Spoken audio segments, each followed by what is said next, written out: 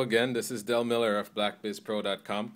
As I've mentioned before, I wanted to start this um, book club where I'll introduce new books that I've personally read or books that may have been introduced to me that I believe would be very helpful for um, the business community.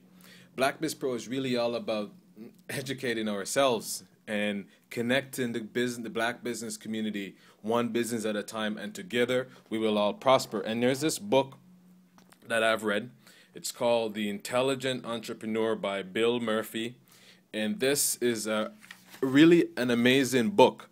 I suggest you go out and get yourself a copy and, and read this book. I'll just tell you why I believe this is a great book for, for business people and entrepreneurs this book here, it says here, you we know that it's not an easy task to to start a new business and to take it to the level of uh, a multi-million dollar business or to be sustainable to a point where you could actually live from the proceeds of this business.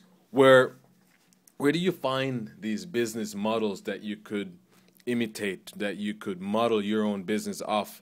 And um, it's it's not an easy task. So Bill Bill Murphy, what he did with this book, I'll just read it to you here. He said, even at a place like Harvard Business School, where the investigative success, where they investigate successful enterprises for a living, there's a wealth of academic academic research on how to manage and grow a big a big corporation, but nowhere near as much data driven driven research and how do you how do you start an early stage business? From from the beginning how do you get that business off the ground?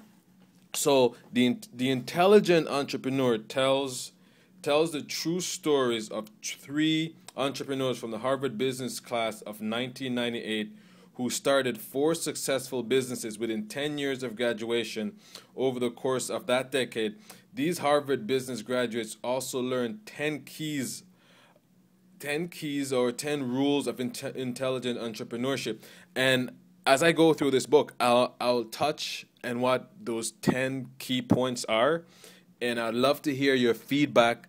Um, send me an emails, comments, tweets, or follow us on Facebook, and let us know what you think about about these 10 key principles.